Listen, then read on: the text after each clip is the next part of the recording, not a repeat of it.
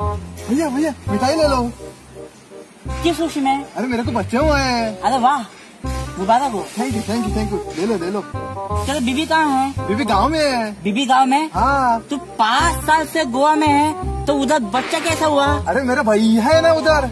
भैया?